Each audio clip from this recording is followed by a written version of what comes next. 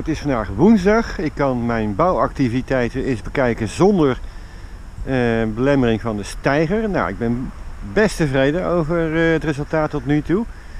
Eh, het is vandaag ook droog. Mogelijk zou ik vandaag kunnen beginnen aan de eerste stappen voor de bouw van de serre. In het atelier ben ik bezig met twee zaken. Dat is schilderen en drukken. Eh, ik heb gisteravond laat heb ik hier nog eh, schetsjes gemaakt voor het werk op het land en het boerenstel in Axelse Dracht met een paard. Zodat het eh, verhaal nu wel een beetje compleet is. Dat wordt nou verder afgewerkt.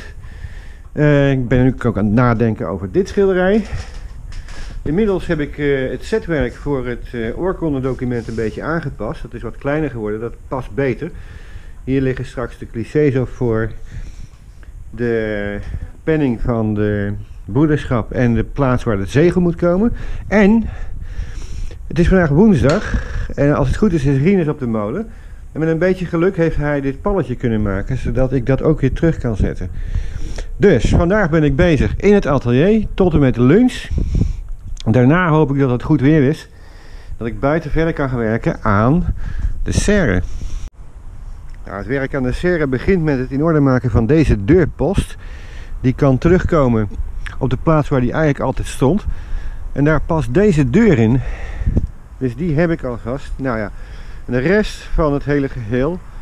ehm, er moet daar nog een klein stukje fundering gemaakt worden. Dat is een lichte fundering, omdat daar dus eh, hout skeletbouw op komt te staan. Maar het begin van eh, het werk aan de serre is het eh, aanbrengen van grond die nog ontbreekt. Zowel hier aan de zijkant als hier in het midden. Die grond moet wat opgehoogd worden nu. Dat mag in gaan klinken. En eh, ik ga hier proberen de eerste werkzaamheden te verrichten voor het eh, gieten van de dorpel. Waar die deur op komt te staan. En dat is daar. Als ik door de tuin loop en even niet oplet. Dan zie ik dat hier weer een enorme boerzette gegroeid is. Kijk. Er komen er nog meer aan.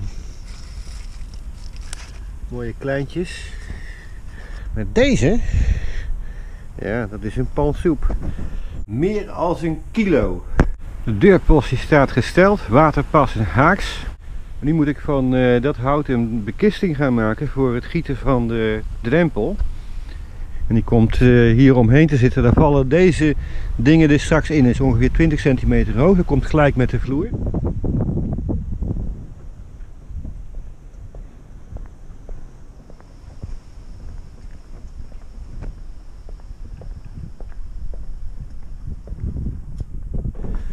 Kijk even. Zo, zat het in elkaar. En dan, dan, dan, Mooi man. Ja, dit is geweldig hè? dan zit hij op dezelfde manier eh, Ja. in elkaar. Ja, prachtig. Oh, dit past echt helemaal precies hè? Ja, dat is geweldig. Kijk. Top. Ook het eh, veerplaatje zit er weer aan. Dus nou kan die op en neer bewegen. Nou, dit is echt helemaal super fantastisch. Zie je?